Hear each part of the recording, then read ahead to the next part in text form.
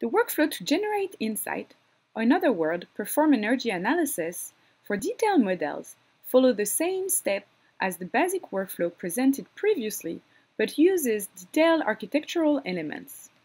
So first, open your detailed model in Revit. To use energy optimization for Revit on detailed architectural models, follow the link shared here for recommendation to prepare your model for the best result. Then follow the same process as the basic workflow to launch the energy analysis and access the result. First, under the Analyze tab, click on the location icon to select a location. Here, we'll set it to 1 Market Street in San Francisco.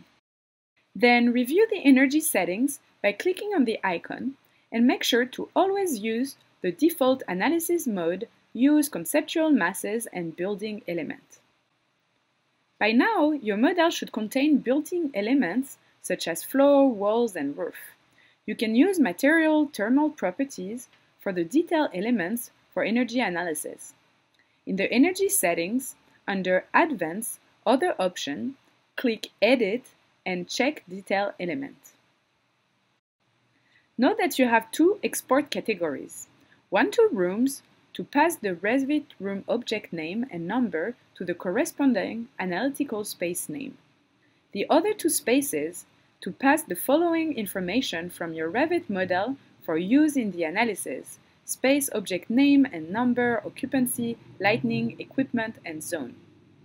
For this exercise, select spaces.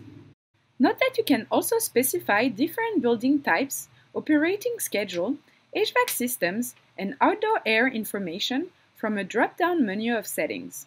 For this exercise, we'll set the building type to office and keep the default option, and then click OK.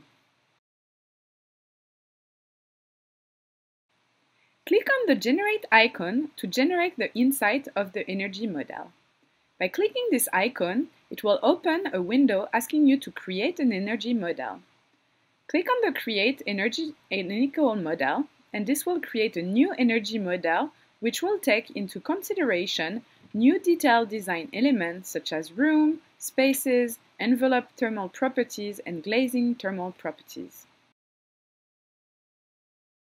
Once complete, you'll see this window pops up telling you that your process is complete.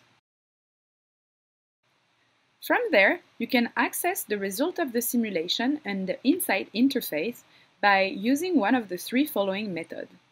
First, in Revit, you can click on your Optimize icon as shown here. You can also click on the link provided in the Analysis Complete email you received. Or you can go on the insight.autodesk.com and sign into your Autodesk A360 account and click on Insight to see your model.